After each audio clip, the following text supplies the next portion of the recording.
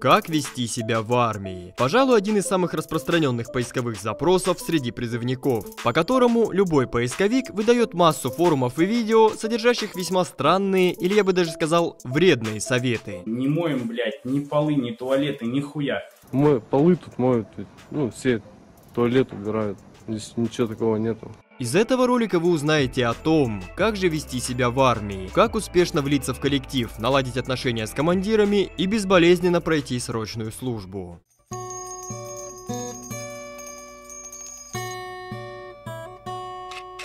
По традиции, перед началом ролика хочу поблагодарить топ-донатеров последних стримов, а также многоуважаемых спонсоров канала, в частности, старого прапора Red Smoke. И да, прошлый ролик меньше чем за неделю собрал 10 тысяч лайков. Господа, мое почтение. Думаю, каждый, кто хоть раз интересовался армейской тематикой, сталкивался с таким утверждением. Как в армии себя поставишь, так тебе и будут относиться. И с данными словами нельзя не согласиться, однако многие ребята трактуют их не совсем верно. Ставим себя так, что я нихуя делать не буду, там бейте мне ебало, похуй. Блять. Наслушавшись всяких бывалых служак, такие салаги приходят в армию и пытаются строить из себя отрицал. Мол, вы мне не указ, я вообще-то крутой и никакие полы я тут мыть не буду. И в былые времена в некоторых частях такое действительно работало, потому что срок службы был два года, срочники могли занимать командирские должности и взаимоотношения в коллективе были немного другими. Сейчас же все командирские должности заняты контрактниками, а срочники это просто текучка, постоянно сменяемый поток ребят, которые пришли, за задачки повыполняли и ушли. И даже обросшие различными слухами кавказцы, про армейский беспредел которых слагают настоящие легенды, в открытую конфронтацию с командирами стараются не вступать. Какие-то особо криминальные части не в счет. Поговорка «как себя поставишь, так и будут относиться» работает только во взаимоотношениях между самими солдатами, а с командирами котируется исключительно устав и безоговорочная субординация. В общем, самый главный совет, как вести себя в армии, это не пытайся менять систему, блатовать и гнуть пальцы. Меньше говори, больше слушай и самое главное, запоминай и применяй то, что вам говорят. Тогда ты быстрее освоишься и поймешь, как работает вся эта армейская экосистема. Далее нужно научиться не поддаваться бушующим эмоциям, ведь армия это то место, где при любом раскладе, каким бы ты человеком не был, большую часть времени ты будешь делать то, что делают все остальные. Ну а то, как ты это будешь делать, зависит уже от тебя. Если ты по жизни весельчак... Эй, нас ебут, а мы смеемся, все равно мы дингольнемся! То просто продолжай веселиться. Если ты унылое говно... Как же меня все это достало? Где сейчас моя любимая? Кто украл мои вафли? То продолжай быть унылым говном. Ну а если ты контрактник... Так, стоп. Чем опять тут у нас контрактники занимаются? Снова игра. Ну, и что хоть за игра-то?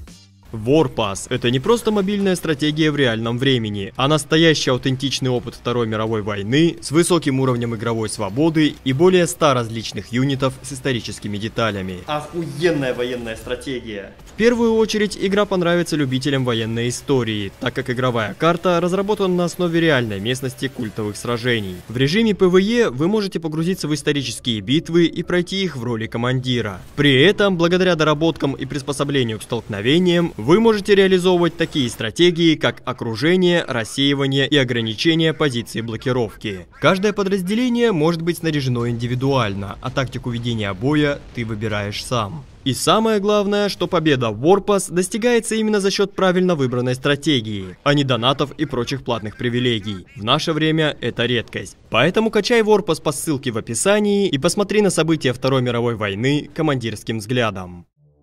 Изначально вопрос, как вести себя в армии, казался мне несколько странным, ведь армия – это самый обычный мужской коллектив, такой же, как и на работе, на СТО или в страйкбольном клубе. Но ты же не гуглишь, как вести себя на СТО. И даже если бы существовала какая-то удачная комбинация фраз и моделей поведения, которая поможет тебе стать крутым и уважаемым солдатом, то ты в любом случае не сможешь придерживаться этих рекомендаций весь срок службы. Маску ты, конечно, можешь надеть, но носить ее целый год у тебя точно не получится потому что армейские условия всегда расставляют все по своим местам. И абсолютно каждый молодой солдат со временем обязательно покажет свое истинное «я». Это Хуйня. Поэтому не нужно придумывать велосипед, просто с самого начала будь собой. Потому что рано или поздно все все равно узнают, какой ты на самом деле. К примеру, на КМБ у нас был паренек, который очень сильно всех раздражал своей наглостью. В душ он всегда старался пролезть без очереди, всех пытался подковырнуть и что-то закрысить. Ну то есть такая очень мерзкая личность. И к нему, как ни странно, претензий не было, потому что все знали, что он такой вот мерзопакостный человек и слишком близко его к себе не подпускали. Однако спустя месяцы оказалось, что он такой далеко не один, просто другие скрывались под маской. Да и он не самый плохой человек оказался. Из этого вытекает следующий совет из серии «Как вести себя в армии». В начале службы не нужно пытаться заводить друзей, так как спустя некоторое время человек может оказаться вовсе не тем, кого вы считали другом.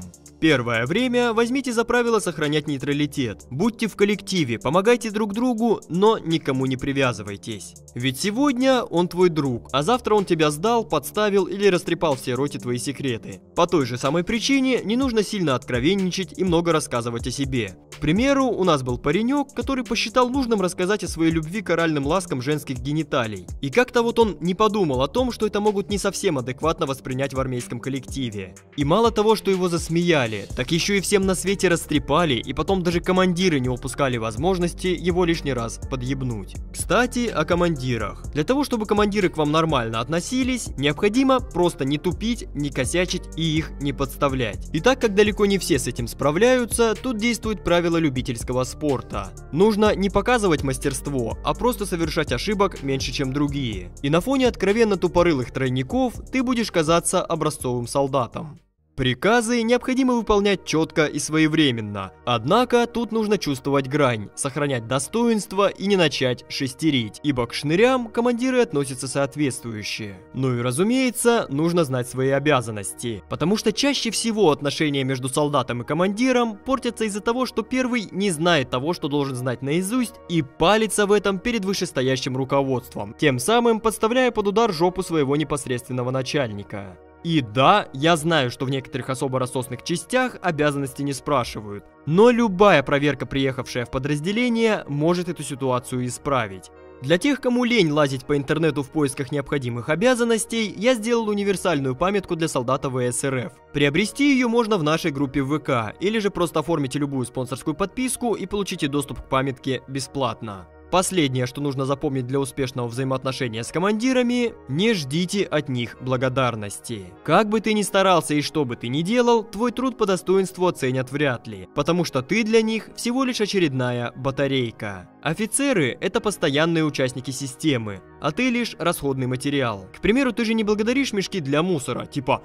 «Ой, мешок, спасибо тебе, ты такой крепкий, так много моих бутылок в себя вместил». Нет, ты просто его выбрасываешь и все. А он, между прочим, тоже старался. Для более спокойной и размеренной жизни желательно вообще из серой массы не выделяться. Тогда у тебя и время свободное будет, и ответственности меньше. Но каждому свое. Кому-то такое существование будет в тягость. Ну и напоследок еще раз коснемся, как же вести себя в коллективе, таких же как и ты, срочников. В целом, в казарме работают все те же правила, что и в любом другом коллективе. Тут так же, как и в школе. Есть более крутые, средние и всякие чуханы. Но в армии всегда нужно быть на чеку. И помнить, что тут практически каждый постоянно пытается переложить свои обязанности на другого. И ваша задача не быть этим другим. Банальный пример с мытьем полов. Более волевые и спортивные ребята иногда не хотят этим заниматься. Да и под конец службы вообще мало кто хочет этим заниматься. Поэтому за них это делают менее уверенные в себе чуханы. И причем они сами хотят им подчиняться. Об этом я уже рассказывал в ролике про опущенных в армии. Так вот, одно дело, когда ты в наряде или по графику твоя очередь убираться. Другое дело, когда тебя кто-то заставляет это делать. В первом случае все нормально. Во втором, тебя пытаются эксплуатировать и тут уже нужно отстаивать свое достоинство.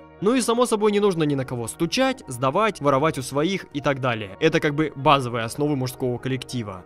Резюмируем. Как же нужно вести себя в армии? Меньше говори, больше слушай, усваивай и воспроизводи в действиях. Знай свои обязанности и не подставляй командиров. Быстро и четко выполняй приказы, но не старайся сильно, не жди благодарности и не шестери. Не пытайся изменить систему и не строй из себя героя. Будь собой, но сильно никому не открывайся, не загоняйся по ерунде и просто иногда веселись и дурачься. Ведь с юмором намного легче проходить через стрессовые ситуации. Пусть даже и с тупым юмором.